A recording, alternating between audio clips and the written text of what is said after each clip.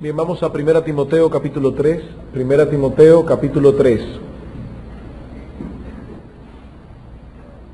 Aunque esta noche solamente vamos a estudiar el versículo 16, vamos a leer desde el versículo 14 para poder tomar toda la idea en su contexto. 1 Timoteo capítulo 3, vamos a leer los versículos 14 al 16.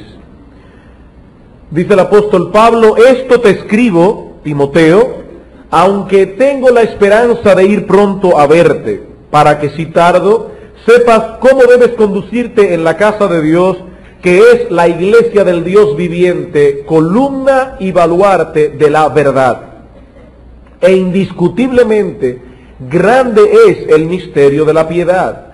Dios fue manifestado en carne, justificado en el Espíritu, visto de los ángeles, predicado a los gentiles, creído en el mundo, recibido arriba en gloria.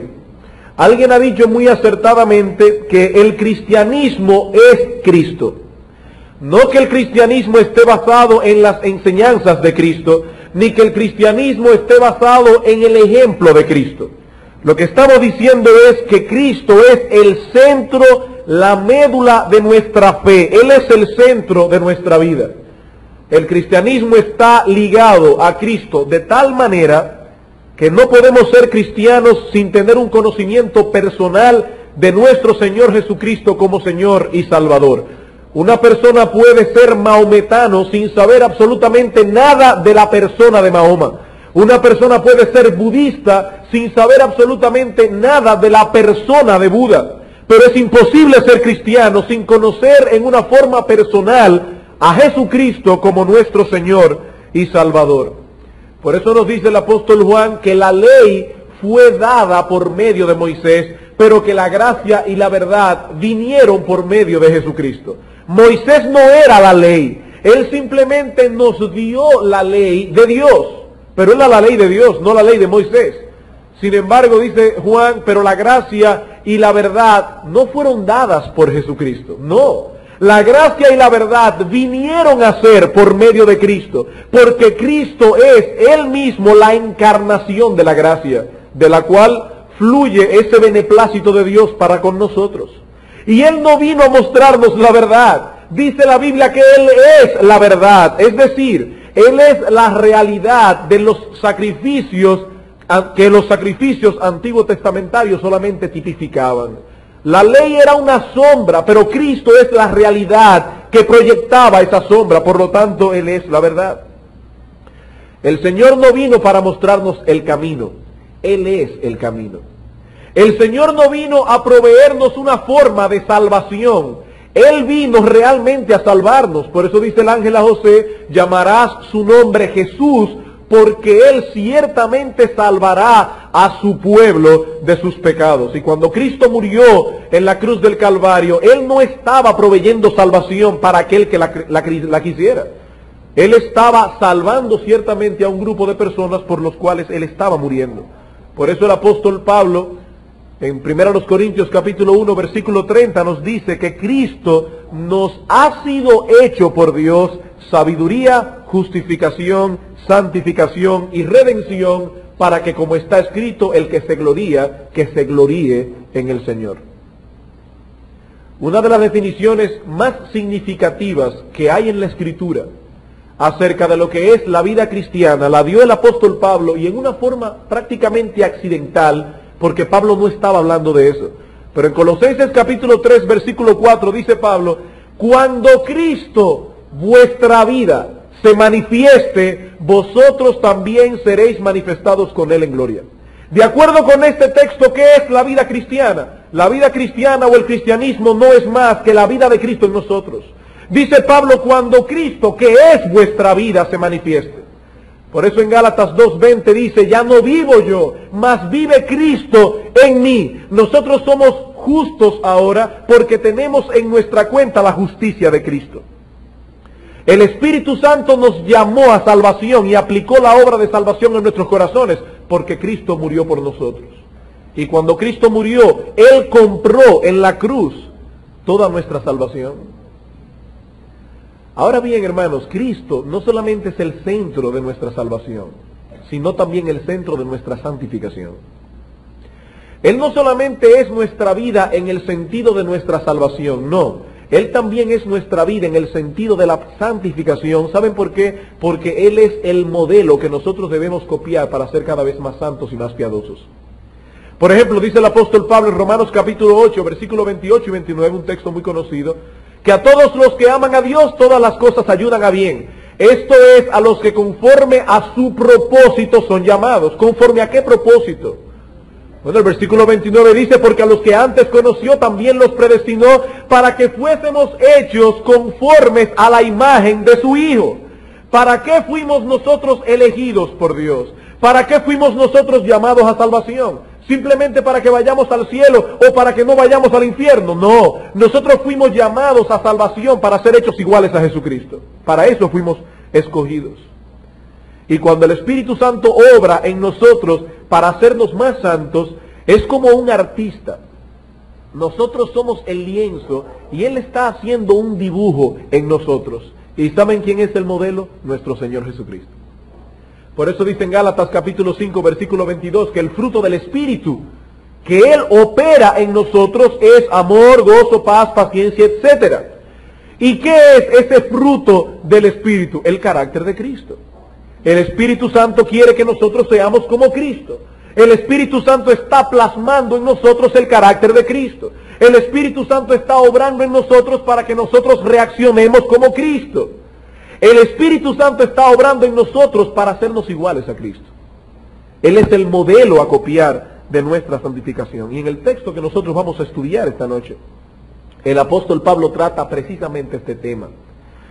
Nosotros debemos recordar, para hacer un poco de, de memoria de lo que vimos el domingo antes pasado, que el apóstol Pablo está tratando de impresionar la mente de Timoteo, que era un joven pastor que había sido dejado en Éfeso para resolver algunos problemas que habían surgido en esta congregación. Y Pablo quiere impresionar la mente de Timoteo para que él entendiera la seriedad del asunto que él tenía en sus manos. Él estaba pastoreando una iglesia del Señor. ¿Y qué es la iglesia?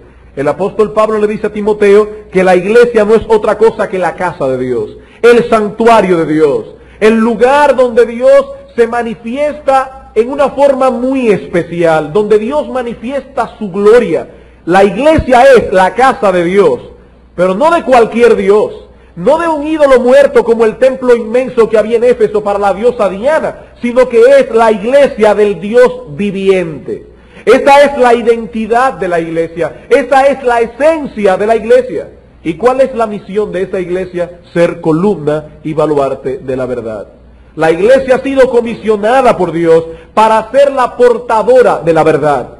La iglesia ha sido comisionada por Dios para proclamar la verdad, para defender la verdad.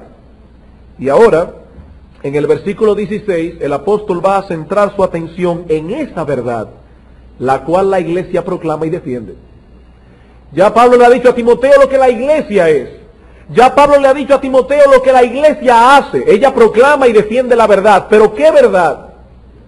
Ahora Pablo le dice en el versículo 16, Timoteo, ¿y qué verdad? ¿Qué verdad? Timoteo, ¿con cuánto cuidado debes manejar los asuntos que conciernen a la iglesia? Porque esa verdad no es otra que el misterio de la piedad que Dios fue manifestado en carne, justificado en el Espíritu, etcétera, etcétera. Y nosotros veremos en este texto básicamente dos cosas. En primer lugar, veremos la naturaleza de esa verdad. En primer lugar, la naturaleza de esa verdad. Y eso es todo lo que veremos esta noche. El domingo próximo entonces nosotros veremos el contenido de esa verdad. Veremos la naturaleza de la verdad, de esa verdad esta noche y el próximo domingo veremos el contenido de esa verdad. ¿Qué nos dice Pablo, hermanos, acerca de la naturaleza de esa verdad que la iglesia proclama y defiende? La primera parte del versículo 16 dice, e indiscutiblemente grande es el misterio de la piedad. Y hermano, yo debo confesar, por ser honesto con ustedes, que casi siempre que uno va a predicar un texto de la palabra de Dios y se sumerge en el texto, uno siente que se queda corto.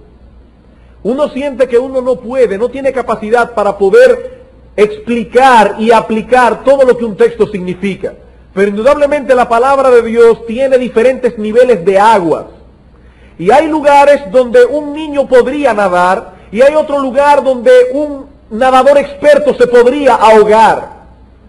Y hermanos, esta es una de esas profundidades. Primera Timoteo 3:16. Yo tengo que confesar que yo podría dar muchos mensajes de ese texto y yo no podría de ninguna manera alcanzar el significado total de lo que ese texto dice. Y por eso tendremos que tomarnos esta noche, la noche completa, solamente para ver en parte la primera parte del versículo 16. Dice Pablo, e indiscutiblemente grande es el misterio de la piedad. ¿Y qué podemos nosotros aprender en esta sencilla frase? ¿Qué podemos aprender acerca de la naturaleza de la verdad que la iglesia proclama y defiende? En primer lugar, que es una verdad que solo puede ser conocida por una revelación directa de Dios. Lo primero que debemos aprender en cuanto a la naturaleza de esta verdad que la iglesia proclama y defiende es que es una verdad que solo puede ser conocida por un mortal si Dios se lo revela. Pablo usa aquí la palabra misterio, el misterio de la piedad. Y ya hemos hablado otras veces que la palabra misterio no significa nada esotérico u oculto. Pablo no está diciendo e indiscutiblemente que hay algunos secretos que solamente algunas personas conocen verdades intrincadas que Dios le ha placido solamente dársela a algunos genios que hay en la humanidad. Esa no es la idea que encierra la palabra misterio. Esta palabra es usada en la Biblia muchas veces para referirse a cierto tipo de verdades que no podrían ser conocidas por el hombre a no ser que Dios mismo se las revele. Verdades que no podrían ser conocidas por el hombre a menos que Dios mismo se las revele. El hombre no puede llegar, por ejemplo, a conocer a Dios por mera observación. Él puede sí conocer por medio de la creación la deidad y el poder de Dios, pero no puede llegar más de ahí. Él no podría ver a través de la creación que Dios es santo. Él no podría ver a través de la creación que Dios es trino. Él no podría conocer a través de la creación que Dios es justo. Él no podría conocer a través de la creación que Dios va a condenar al pecador. Él no podría entender eso, a menos que Dios no se lo revele. El hombre no llegaría al conocimiento de esa verdad por un simple esfuerzo de su razonamiento. Su mente no llega hasta ahí. Por eso hemos dicho muchas veces, hermanos, que la fe no es irracional. No, la fe es suprarracional.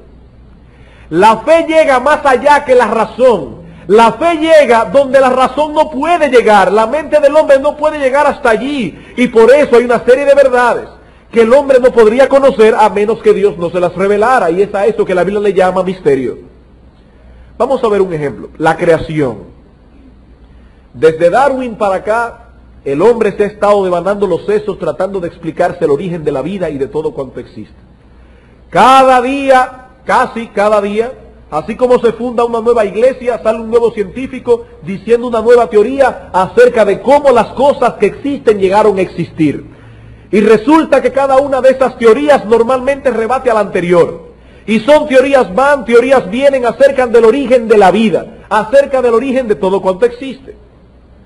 Pero hermanos, Dios ya reveló eso en su palabra. Ya Dios nos dijo exactamente cómo fue que todas las cosas llegaron a ser. Y si el hombre no estuviese envanecido en su razonamiento, como dice el apóstol Pablo, el hombre aceptaría la explicación que Dios da. Porque hermanos, Solamente Dios puede decirnos y revelarnos cómo fue que las cosas llegaron a existir. ¿Saben por qué? Porque ni usted y yo estábamos allí. El único que estaba ahí era Él. Solamente Él puede decirnos cómo las cosas que existen llegaron a la existencia. Eso es un misterio, un misterio que solamente Dios puede revelárnoslo. Y ahora dice el apóstol Pablo, hablando de una parte de ese misterio revelado, dice, e indiscutiblemente grande es el misterio de la piedad que la iglesia proclama y defiende. Pero Pablo no está hablando aquí de todas las cosas que Dios ha revelado, no. Pablo está hablando específicamente en nuestro texto de la verdad de la cual Jesucristo es el centro. Pablo está hablando aquí de esa verdad que tiene que ver con la persona y la obra de nuestro Señor Jesucristo. Cosas que nosotros no podríamos saber a menos que Dios no nos las revelara. En otras palabras, el Evangelio, con todo lo que significa el Evangelio, es un misterio. Es un misterio porque el hombre no podría conocerlo a menos que Dios nos descorriera el velo que impide que el hombre pueda entender lo que significa ese mensaje. Y esa revelación de Dios nos ha sido dada de dos maneras.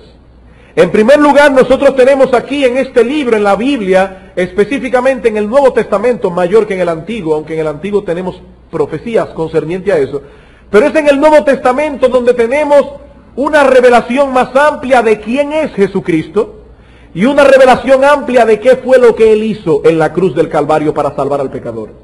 Es en la Biblia donde nosotros tenemos esa revelación. Y no podríamos conocer nada acerca del Evangelio a menos que no vayamos a la fuente de la palabra de Dios para ver exactamente qué es lo que Dios dice. El Señor Jesús orando en Juan capítulo 17 dice, Padre, santifícalos en tu verdad y añade tu palabra, es verdad. La palabra de Dios. Pero hay un problema. El pecador puede venir a esta fuente y ir al Evangelio y él puede comprender ciertos hechos que tienen que ver con la persona y la obra de Jesucristo. Pero su mente está entenebrecida. Y por lo tanto, él no podría comprender en una plenitud salvífica lo que todo eso significa. En otras palabras, él puede comprender algunas cosas acerca de Cristo y decir, sí, Él es Dios. Yo lo creo. Y hay pecadores, impíos, inconversos, que creen que Cristo es Dios. Hay personas que han llegado a comprender esa verdad de la Escritura. Hay personas que han llegado a comprender algunas cosas que tienen que ver con lo que Cristo hizo en la cruz del Calvario. Pero esos pecadores no tienen una visión tan clara como para apropiarse de esa verdad. Y por lo tanto no pueden ser salvos. ¿Qué necesitan ellos entonces? Ellos necesitan ahora que Dios les revele este evangelio que está aquí escrito en el corazón de cada pecador. Tiene que haber una revelación directa de Dios en el corazón del pecador para que él entienda lo que aquí está escrito. Vamos a poner esto un poco más claro, ponerlo un poco más a la mano nuestra. Hermano, si usted está aquí esta noche y usted es cristiano, usted es creyente, usted se ha arrepentido de sus pecados, Usted ha creído en Cristo como Señor y Salvador. Usted no comprendió todo eso porque era más inteligente que los otros pecadores. Más aún, usted ni siquiera comprendió todo eso porque usted fue primero que ellos a la Biblia. Porque muchos de esos pecadores que andan perdidos en el mundo han leído la palabra más que usted. Usted comprendió todo eso porque a Dios le plugo abrirle el entendimiento. Porque a Dios le plugo revelar en su interior este mensaje que está aquí escrito. Y si no hubiese sido por esa obra milagrosa de Dios, usted no estaría aquí esta noche. Ahora, tenemos textos que prueben esto, claro que sí, abundantes. Yo voy a citar solamente algunos. Por ejemplo, vamos a Mateo capítulo 16. Mateo capítulo 16. Uno de los objetivos que yo le he pedido al Señor, que su Santo Espíritu use lo que estamos hablando esta noche es para generar gratitud en nuestros corazones. Para que todo esto pueda producir gratitud en nuestros corazones. Dice Mateo capítulo 16 que el Señor Jesús se acerca a los apóstoles y les dice, bien, ¿quién dicen los hombres que soy yo? Y ahí comienzan las personas a especular. Bueno, Señor, algunos dicen que tú eres Juan el Bautista que resucitó de los muertos. Otros dicen que tú eres Elías. Otros dicen que tú eres, que tú eres alguno de los profetas. Y el Señor muy directamente le pregunta a los discípulos, ¿y vosotros? ¿Quién decís que soy yo? Y Pedro salta y dice, tú eres el Cristo, el Hijo del Dios viviente. Una revelación fantástica. Pedro le está diciendo al Señor, Señor, nosotros creemos que tú eres el Mesías. Nosotros creemos y entendemos que tú eres el Salvador que Dios ha enviado al mundo, que tú eres el sacerdote, el profeta y el rey que ha sido enviado aquí, el Cristo, el ungido de Dios. Y además creemos que tú eres el Hijo del Dios viviente. Y recuerden hermanos que Pedro era judío. Y cuando Pedro le dice a Cristo que él cree que él es el Hijo de Dios, está diciendo yo creo que tú eres Dios. Porque Dios no podría tener un hijo que salga de él que no fuera igual que él, que comparta su naturaleza. Recuerden que cuando Cristo le llama a Dios su propio Padre, dice que los judíos quisieron apedrearle. Y cuando Cristo le dice, ¿y por qué ustedes me quieren apedrear? ¿Qué le dicen los judíos? Porque tú, siendo hombre, te haces Dios. Ellos entendieron perfectamente que cuando Cristo se llamaba a sí mismo Hijo de Dios, estaba diciendo que era Dios. Y Pedro le dice, Señor, nosotros creemos que tú eres el Mesías y creemos que tú eres el Hijo de Dios. ¿Y qué le dice Cristo a Pedro? Oye, Pedro, qué inteligente eres. Pedro, tú eres un individuo genial. Tú has llegado a una conclusión que los fariseos que han estudiado en seminarios no han llegado todavía. Qué inteligente eres, Pedro. ¿Qué le dijo Cristo a Pedro? Feliz o bienaventurado eres, Simón, hijo de Jonás, porque eso no te lo reveló carne ni sangre, sino mi Padre que está en los cielos. Pedro nunca hubiese podido llegar al entendimiento de que Cristo era el Mesías a menos que el Padre no se lo hubiese revelado. Era imposible para Pedro llegar a esa conclusión. Alguien dirá, bueno, pero quizás solamente fue para Pedro, porque como él era un pescador tosco, Dios tuvo que abrirle el entendimiento, porque si no, no lo hubiera entendido. Pero yo no soy Pedro. Yo soy un individuo que quizás no soy un genio, pero yo pasé por una universidad y yo creo que yo me convertí al Señor porque yo entendí el mensaje de salvación. No, hermano. En Juan capítulo 6, el Señor enseña todo lo contrario. En el Evangelio de Juan, en el capítulo 6, en el versículo 44 de este sermón del pan de vida, el Señor le dice a estos discípulos y a los judíos que estaban allí, algo interesante que el Señor le dijera esto a judíos incrédulos, porque hay algunas personas que dicen, hay cierto tipo de cosas que no se le debe decir a los inconversos. Bueno, parece que el Señor no tenía este método evangelístico porque él estaba predicando a un grupo de inconversos. ¿Y qué le dice Cristo a este grupo de inconversos? Le dice, ninguno puede venir a mí si el Padre que me envió no le trajere, no le atrae. Y yo le resucitaré en el día postrero. Y ahora el Señor va a explicar a qué se refiere es Él con eso de que el Padre atrae a los pecadores a Cristo y dice, escrito está en los profetas y serán todos enseñados por Dios. Así que todo aquel que oyó al Padre y aprendió de Él viene a mí. Una vez más tenemos aquí el uso de todos sin implicar todos y cada uno de los miembros de la raza humana. Porque dice aquí serán todos enseñados por Dios. Pero Cristo añade que todos los que son enseñados por Dios vienen a Cristo. ¿Acaso se han convertido todos los seres humanos que han vivido después de Cristo? No, sabemos que no. Por lo tanto, cuando dice aquí serán todos enseñados por Dios, son todos aquellos que el Padre eligió en su soberana voluntad. ¿Y qué hace el Padre? Que el Padre en su corazón le enseña la verdad del Evangelio. Por eso cuando usted le estaban predicando la palabra de Dios, usted hubo un momento que lo vio claro y dijo, wow, ahora entiendo. Y usted se arrepintió de sus pecados. Tal vez su comprensión no era la que tiene ahora, pero usted comprendió lo suficiente como para salvarse. Usted comprendió lo necesario para arrepentirse. Y hermano, usted tiene que estar agradecido de Dios porque fue el Padre mismo que le abrió su corazón y su entendimiento para que usted comprendiese el mensaje salvífico de la palabra de Dios. Primera a los Corintios, o segunda a los Corintios, perdón, capítulo 4.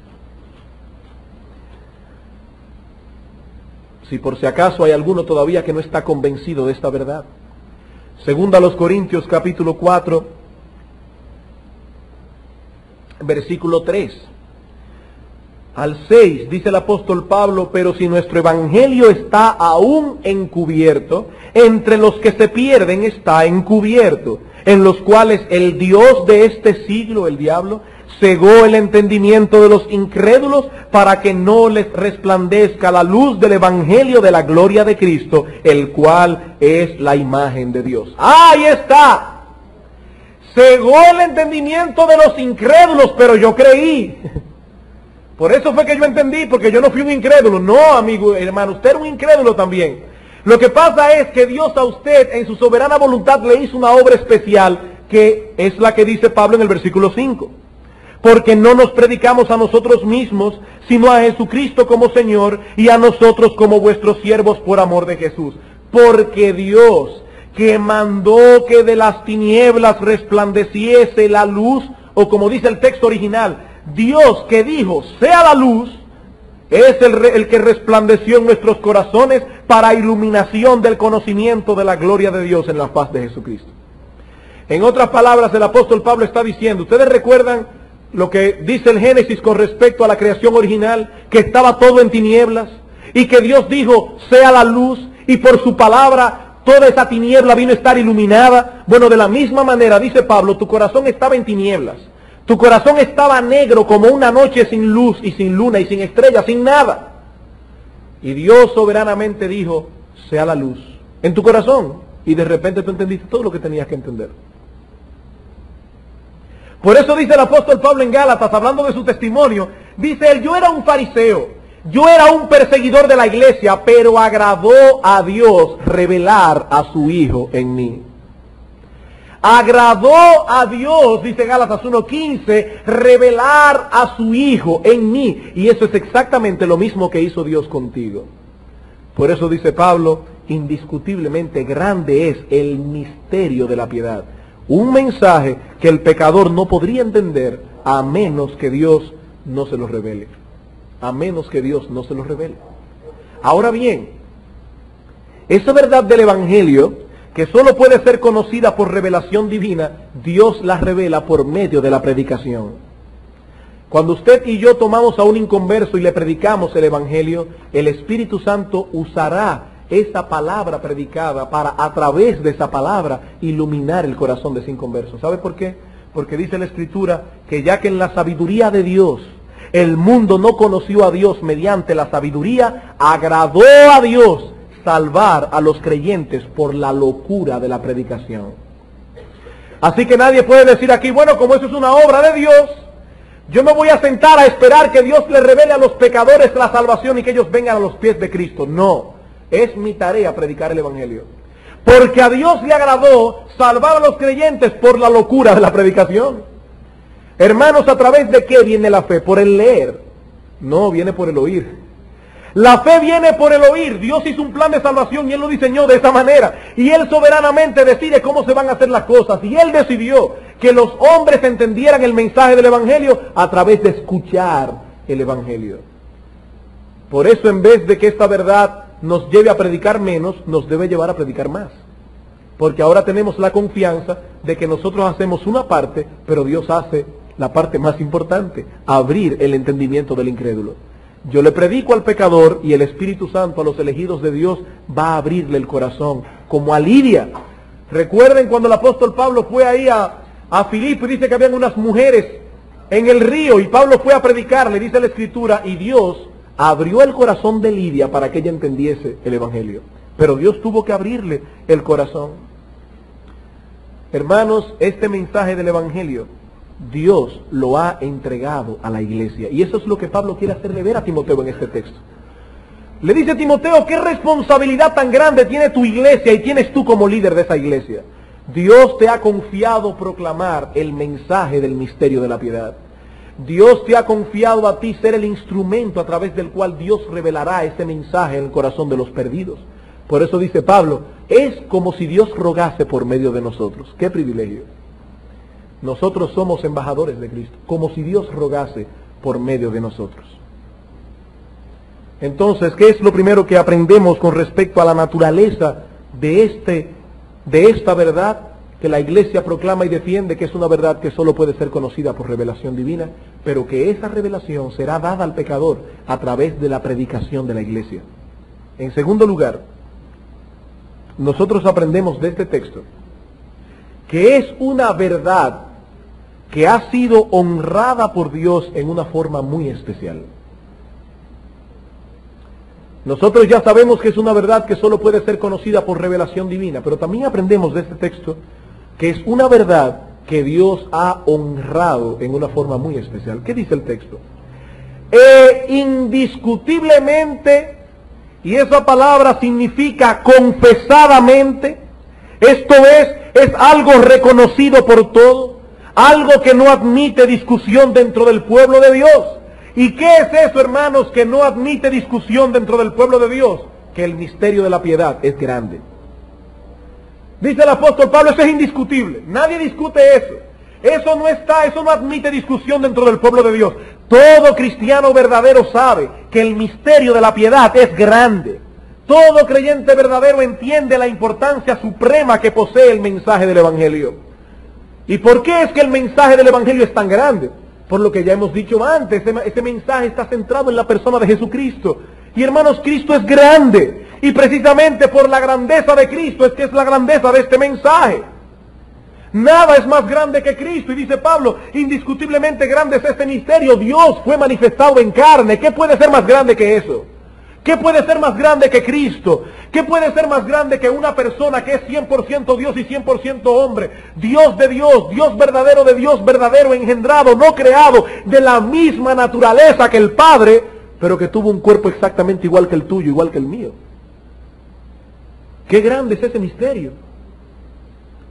¿Y por qué es grande ese misterio? Por la grandeza del Salvador, por la grandeza de nuestro Señor Jesucristo. Y es grande este misterio, hermanos, por, la, por el poder, por la grandeza del poder de Dios que encierra este mensaje evangélico. ¿Sabe lo que dice Pablo con respecto al Evangelio? No me avergüenzo del Evangelio. ¿Por qué? Porque es poder de Dios para salvación. La palabra poder que usa el apóstol Pablo ahí es dunamis, de donde viene nuestra palabra en español dinamita. Hermanos, el Evangelio es la dinamita de Dios. La diferencia es que cuando usted le pone dinamita a una montaña, por ejemplo, usted destruye la montaña, usted destruye una muralla, una pared. La dinamita destruye, mientras que el Evangelio destruye y construye. El Evangelio es la dinamita de Dios, es el poder de Dios. No hay un mensaje sobre la tierra que tenga más poder que el Evangelio, porque ¿sabe lo que hace el Evangelio? Que el Evangelio destruye la muralla que ha puesto el pecador sobre su corazón. El Evangelio destruye la dureza del corazón del pecador y luego construye ese corazón para la gloria de Dios. ¿Qué mensaje puede ser más grande que el misterio de la piedad? El misterio de la piedad es indiscutiblemente grande por las repercusiones que ese mensaje tiene. Es un mensaje que encierra salvación y condenación. Salvación eterna para todos los que aceptan el mensaje del Evangelio. Condenación eterna en el infierno para todo el que rechace la dádiva gratuita de Dios. Qué grande es el misterio de la piedad. Y hermanos, yo me pregunto, ¿cuántos de nosotros calibramos o valoramos el privilegio tan grande que nosotros tenemos de que Dios nos haya revelado este mensaje. El privilegio tan grande que nosotros tenemos de que Dios haya abierto nuestro corazón para que nosotros podamos entender la belleza del mensaje evangélico. ¿Sabe lo que le dijo Cristo a los discípulos? Cuando el Señor le da una serie de parábolas en Mateo capítulo 13, los discípulos se acercan y le dicen, Señor, ¿y por qué tú le hablas a ellos en parábolas? Y el Señor dice, para que viendo no vean y oyendo no oigan ni entiendan. Sin embargo, dice Cristo, bienaventurados vuestros ojos porque ven. Y bienaventurados vuestros oídos porque oyen, porque de cierto os digo que muchos profetas y justos desearon ver lo que vosotros veis y no lo vieron, y desearon oír lo que vosotros oís y no lo oyeron. Y no está hablando de los impíos, está hablando de los profetas y justos. Y al final de esta serie de parábolas en Mateo 3, el Señor se acerca a los discípulos y le pregunta muy cándidamente, ¿habéis entendido todas estas cosas? ¿Y sabe qué les respondieron los discípulos? Ese grupo de pescadores ignorantes del pueblo le respondieron con mucha honestidad, sí Señor. ¿Y por qué ese grupo de pescadores ignorantes y pecadores también? Entendieron cosas que esos fariseos letrados, teólogos, no pudieron entender porque Dios soberanamente abrió el entendimiento de los discípulos y por eso Cristo les dice, bienaventurados sois, lo mismo que le dijo a Pedro, bienaventurado Pedro, porque esas cosas no te las reveló carne ni sangre y ahora le dice a los discípulos, bienaventurados vuestros ojos porque ven, bienaventurados vuestros oídos porque oyen, porque ni siquiera los profetas que fueron antes que vosotros entendieron esas cosas. Dice el apóstol Pedro en primera de Pedro, capítulo 1, versículo 10 al 12, los profetas que profetizaron de la gracia destinada a vosotros, como por ejemplo Isaías, inquirieron y diligentemente indagaron acerca de esta salvación, escudriñando qué persona y qué tiempo indicaba el Espíritu de Cristo que estaba en ellos el cual anunciaba de antemano los sufrimientos de Cristo, como Isaías 53, y las glorias que vendrían tras ellos, verá el fruto de la aflicción de su alma y quedará satisfecho. Pero dice Pedro, a ellos, a esos profetas, se les reveló que no para sí mismos, sino para nosotros administraban las cosas que ahora os son anunciadas por los que os han predicado el Evangelio por el Espíritu Santo enviado del cielo. Y añade, cosas en las cuales anhelan mirar los ángeles. Hermano, piensen por un momento en esto. Dice Cristo, bienaventurados vuestros ojos porque están viendo cosas que los profetas, dice Pedro, inquirieron y diligentemente indagaron y no pudieron entenderlas. Y ustedes le están entendiendo. Ahora piensen por un momento en esto. Moisés vio delante del mar rojo cómo Dios bajaba en una columna de nube y abría el mar rojo en dos y cómo el pueblo de Israel pasó en seco por el mar y luego veía cómo de noche venía una columna de fuego que guiaba al pueblo por el desierto. En otra ocasión, en Éxodo 24, Moisés subió al monte con unos ancianos de Israel y vio la gloria de Dios. Y dijo que él vio como un embaldosado de zafiro semejante al cielo como está sereno. Vemos a Isaías en el templo, en Isaías capítulo 6, teniendo una visión terrorífica de la gloria de Dios, con serafines que volaban alrededor de él diciendo, Santo, Santo, Santo, Jehová de los ejércitos, toda la tierra está llena de su gloria. Los oficiales del templo se estremecían, la casa se llenó de humo y dice que él vio la gloria del Señor, vio al Señor sentado en su trono. Y luego vamos a Ezequiel capítulo 1 y dice la escritura que Ezequiel parado en el monte Quebar vio venir del norte la gloria de Dios con cuatro seres vivientes llenos de ojos por dentro y por fuera, con cuatro caras. Y él vio también ese embaldosado de zafiro semejante al cielo cuando está sereno. Y Cristo le dice a los discípulos, no hombre, ellos no vieron nada. En comparación con lo que ustedes están viendo, ellos no vieron nada. Ellos anhelaron ver lo que vosotros veis. Ellos anhelaron oír lo que vosotros oyen y no lo oyeron. Ellos indagaron diligentemente para entender las cosas que ustedes están entendiendo. Qué grande es el misterio de la piedad que Dios les está revelando, dice Cristo. Ellos no vieron nada en comparación con lo que nosotros ahora en esta dispensación entendemos. Que Dios mismo se hizo hombre y murió en la cruz por nuestra salvación. Y más aún, como dice Pablo, que ese Dios habita en nuestro corazón. Esos profetas no vieron nada. Y no solamente esos profetas, dice Pedro, hasta los ángeles anhelan mirar esas cosas. Y la palabra anhelo que usa Pedro es la misma que aparece en el Evangelio de Juan cuando dice que Juan y Pedro llegaron a la tumba y se inclinaron para ver. Lo que el texto nos está diciendo es que en el cielo, ahí están los ángeles tratando de inclinarse para ver ¿Cómo es que Dios ha desarrollado un plan de salvación tan maravilloso? Yo recuerdo que conocí a un misionero que nos contaba de los problemas que tienen los misioneros a veces en ciertos lugares donde no hay un idioma eh, establecido, donde no hay una gramática hecha. Por ejemplo, eh, yo recuerdo cuando estuve en Guatemala que en Guatemala no solamente se habla español, en Guatemala hay 24 dialectos diferentes. Y es un problema cuando un misionero va a predicar el Evangelio a esta gente y quiere enseñar la escritura, la escritura no está escrita en nada y ellos tienen que inventar una gramática para ese dialecto, escribir la Biblia a ese dialecto. Pero hay problemas a veces en la traducción porque no siempre pueden encontrar las palabras apropiadas. Por ejemplo, en uno de esos dialectos no había ninguna palabra para milagro. No había ninguna palabra para milagro. Y los misioneros trataban, de ver cómo ellos iban a traducir en la Biblia la palabra milagro, porque no había ninguna palabra en ese dialecto. Sin embargo, ellos descubrieron que en ese dialecto, cuando pasaba algo que era algo fuera de lo normal, ellos le llamaban obras de cuello largo. ¿Y por qué le llamaban obras de cuello largo? Porque normalmente cuando pasa algo se amontona mucha gente, entonces la persona tiene que levantar la cabeza para ver entonces ellos cada vez que aparecía la palabra milagro en el Nuevo Testamento le ponían una obra de cuello largo. Bueno, lo que está diciendo Pedro es que los ángeles están allí inclinando el cuello para poder ver lo que está pasando aquí. Por eso dice Pablo en Efesios 3:10 que la multiforme sabiduría de Dios es enseñada a los ángeles por medio de la iglesia. Ellos están aprendiendo acerca de la sabiduría de Dios cuando ven el plan de salvación desplegado a través de su iglesia. Por eso dice Pablo, oye, qué grande es el misterio de la piedad. Qué grande es ese mensaje. Y hermanos, con cuánto cuidado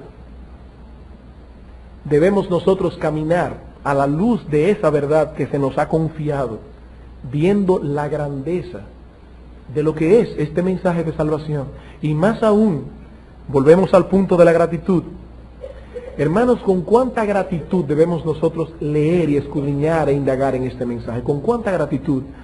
Y decirle al Señor, Señor, qué bueno que mientras hay hombres por ahí en un laboratorio devanándose los sesos, gente muy inteligente, a mí, a mí, tú me permitiste conocer una cosa tan maravillosa como esa. Con cuánta gratitud debemos nosotros adorar al Señor por habernos abierto los ojos y los oídos. Y en tercer lugar, ya hemos visto primero que es una verdad que solo puede ser conocida por revelación. En segundo lugar, que es una verdad que Dios ha honrado en una forma muy especial. En tercer lugar, es una verdad que produce y promueve la piedad. Es una verdad que produce y promueve la piedad. El apóstol Pablo aquí hubiese podido escribir, grande es el misterio de nuestra fe. O hubiese podido escribir, qué grande es el misterio de nuestra religión. Pero no escribió ni lo uno ni lo otro. Él escribió qué grande es el misterio de la piedad. De la piedad. Cuando nosotros hablamos de piedad, y ya el, doctor Wayne Mack habló algo de eso en una de sus conferencias, y vimos que cuando hablamos de piedad no nos estamos refiriendo a estar dedicados de llenos a un ministerio. Una persona puede estar dedicada de lleno a un ministerio y no ser una persona piadosa. Tampoco se está refiriendo a la defensa de la sana doctrina. Una persona puede tener un conocimiento maravilloso de lo que es la sana doctrina y defender la sana doctrina y aún así no ser una persona piadosa.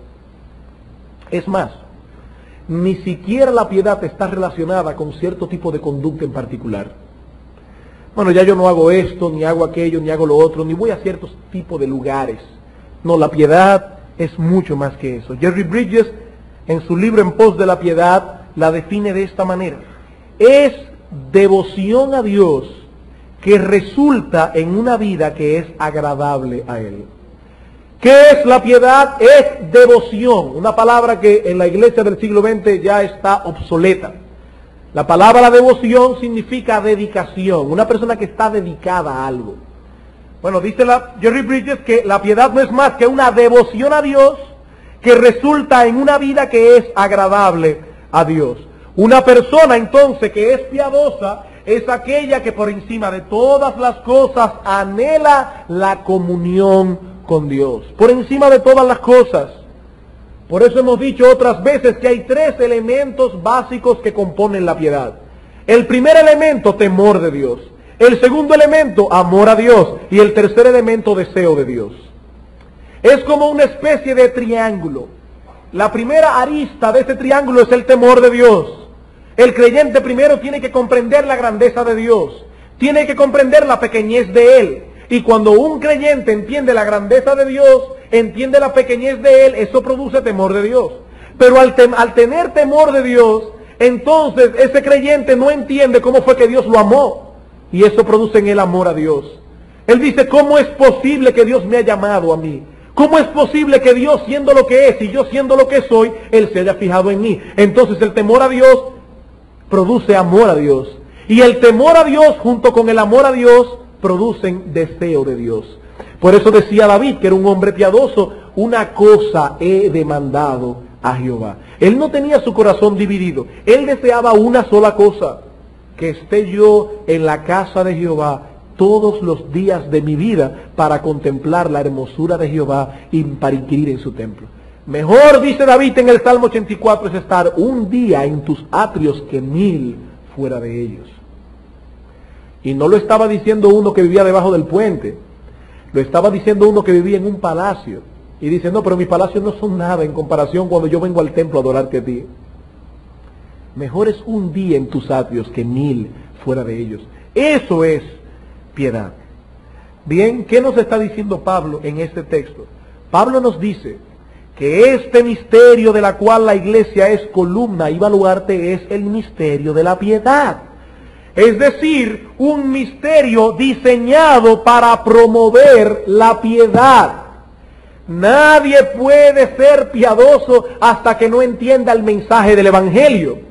Pero nadie puede crecer en la piedad a menos que no crezca en el entendimiento de ese mensaje. ¿Qué es lo que hace que un creyente sea más piadoso que otro?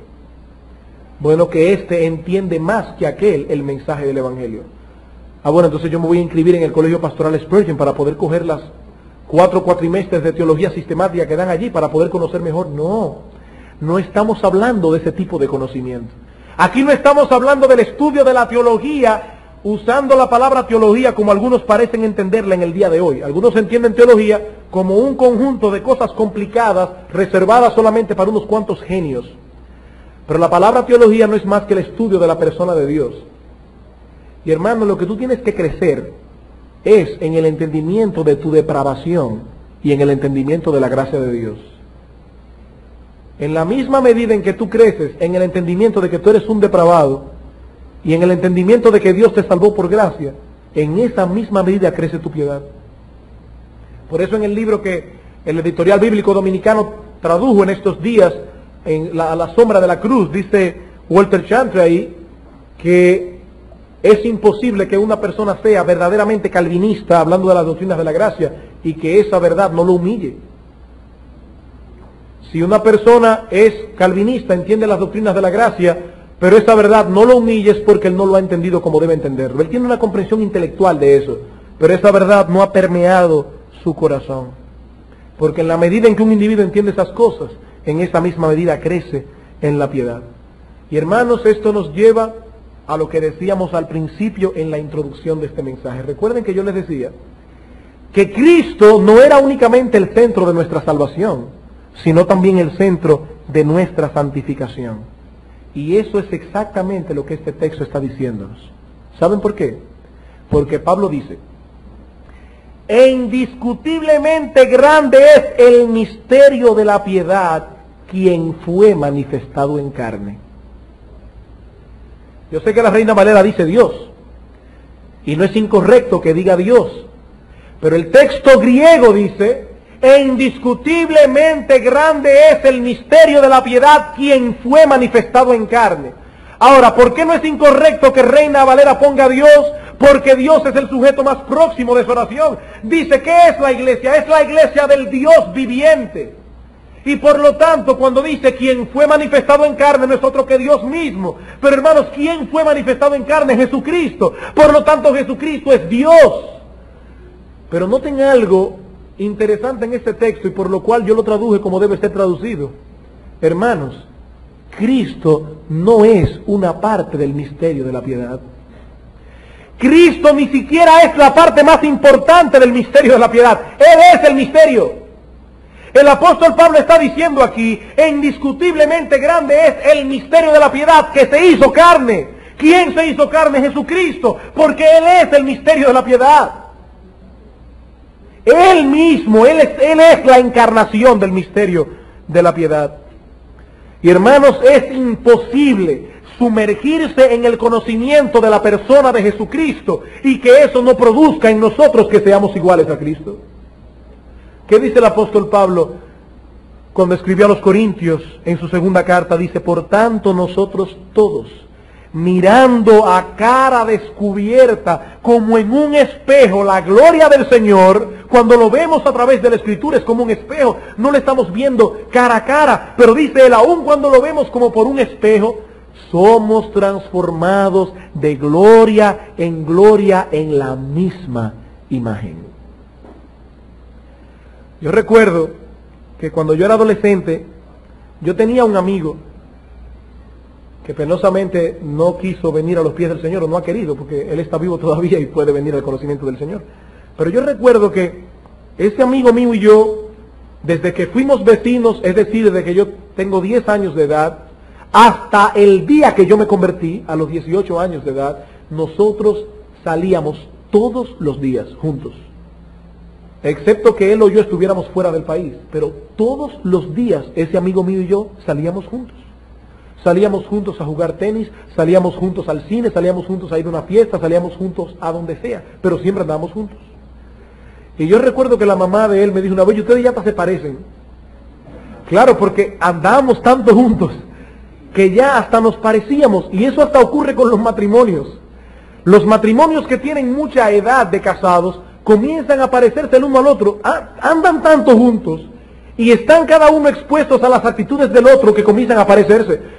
Lo que Pablo está diciendo ahí es que cuando un creyente se detiene a menudo a estar con Jesucristo, cuando un creyente se detiene a menudo a ver a la persona de Jesucristo en su palabra y tiene comunión con Él diariamente, en esa misma medida, ese individuo va a parecerse a Cristo. Y Cristo es la piedad. Él es el misterio de la piedad. Él es el secreto de la piedad. Él es el reflejo de la piedad. Él es la imagen de la piedad hecha hombre. Por lo tanto, tenemos que entender que si Dios iluminó nuestro corazón, si Dios iluminó nuestra mente para que nosotros pudiésemos comprender el mensaje del Evangelio y quién es Cristo y lo que hizo por nosotros, hermanos, eso no fue simplemente para salvarnos. No.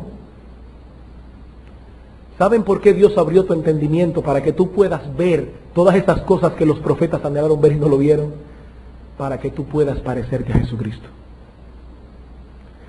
Toda esta obra de salvación fue diseñada y Dios abrió tu corazón con una sola razón, para que tú te parezcas a Jesucristo. Él es el misterio de la piedad. Hermanos, cuando vemos esto bajo esta perspectiva, hay muchas cosas que cambian en la vida cristiana. Cuando el apóstol Pablo dice, por ejemplo, en Romanos capítulo 8, versículo 28, Sabemos que a los que aman a Dios todas las cosas le ayudan a bien. Ese bien del que está hablando el apóstol Pablo no es una vida cómoda y placentera. Oh, pero yo no entiendo ese texto porque a mí desde que yo me convertí ahí que yo problema tengo. Mi negocio anda peor que antes porque antes yo era, un, yo era. Yo volteaba los impuestos y yo tenía dos libros de contabilidad y ahora me está yendo peor. O sea, ¿cómo es eso de que las cosas obran para bien para el cristiano? Ahí me está obrando para mal. No, hermano, porque ese bien del que habla Romanos 8:28, ¿saben cuál es? Parecernos a Jesucristo. Él dice, todas las cosas ayudan a bien, porque a los que antes conoció, ahora él va a explicar eso, dice, porque a los que antes conoció, también los predestinó para que fuesen hechos conformes a la imagen de su Hijo. Y eso es lo bueno, parecerse a Cristo. Es a ese bien que contribuyen todas las cosas que Dios nos envía en su providencia. Dios tiene un cincel en la mano y ahí están todas tus deformidades. Y Dios toma el cincel y te da un cincelazo y tú gritas y Dios te dice todavía falta un poco. Todavía te sigues pareciendo a tu antiguo papá. Y Dios sigue moldeándote y moldeándote porque Él quiere hacerte igual a Jesucristo. Y hasta que Dios no te mire a ti y diga es idéntico a Cristo, Él no va a terminar de moldearte porque Cristo es el misterio de la piedad. Y para eso fue que Dios nos salvó. Solamente para eso. Para que nosotros seamos iguales a Jesucristo. Entonces, hermanos, la semana próxima nosotros entraremos a ver con más detalle el contenido de esta verdad, pero hoy hemos visto la naturaleza de esa verdad. Y hemos visto en primer lugar que es una verdad que solo puede ser conocida por revelación divina. En segundo lugar hemos visto que es una verdad que Dios ha honrado en una forma muy especial. Y en tercer lugar hemos visto que es una verdad que produce y promueve la piedad. Pero ahora yo quiero hacerte algunas preguntas.